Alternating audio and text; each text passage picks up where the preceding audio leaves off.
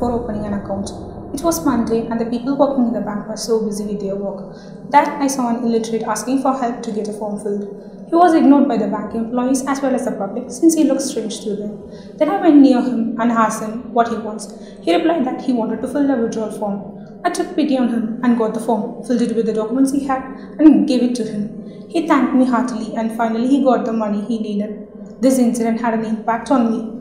At first in PBL, when we started searching for problem statements, we thought of doing a project that should serve our society. Then this problem came to my mind and I proposed this problem to my teammates. To my surprise, everyone liked this idea and we started our project. And we thought of developing a form filling assistant, which would be a software module aimed at illiterate and the visually impaired of our country, specifically meant for the form used in the banking sector. We also wanted it to support the usage of multiple languages.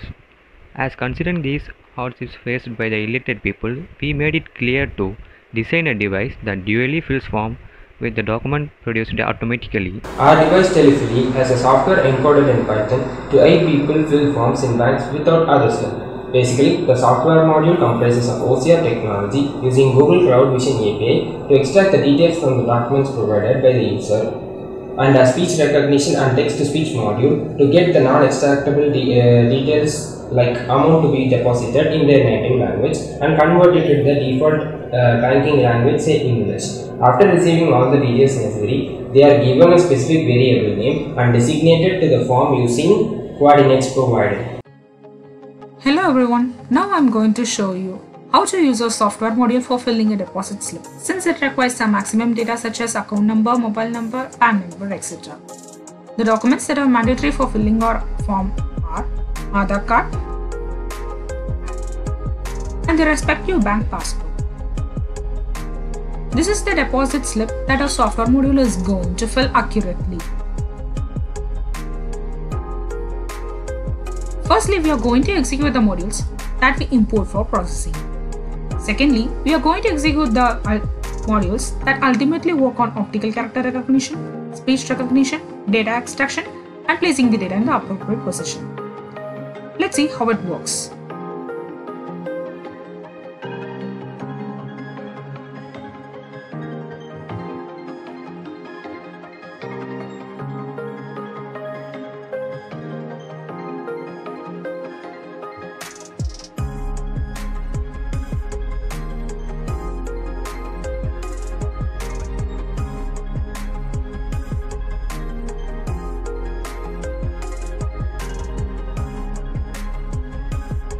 உங்கள் தொலைபேசி எண்ணைச் சொல்லுங்கள்.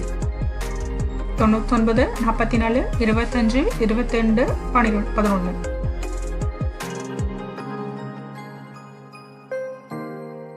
எவ்வளவு பணம் deposit செய்ய வேண்டும்? நாலாயிரத்து ஐநூறு. We can see almost all the data were extracted from the documents we provide. Only the unknown data like deposit amount and the mobile number are extracted through speech recognition. We can see the OCR text of Aadhaar card, bank passbook, and PAN card and the overall data in a Python dictionary that is being displayed here.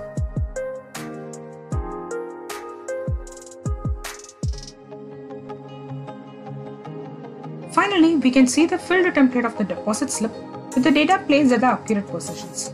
The software module can also be used for filling bank checks, withdrawal slip, and the demand draft, which are not shown here.